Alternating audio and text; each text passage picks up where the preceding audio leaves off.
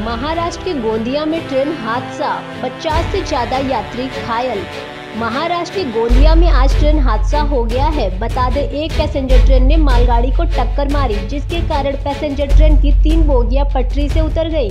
हालाँकि इस घटना में ट्रेन में सवार किसी भी यात्री की जान नहीं गई, लेकिन 50 से ज़्यादा यात्रियों को घायल बताया जा रहा है, जिसमें 13 लोग गंभीर रूप से घायल हैं।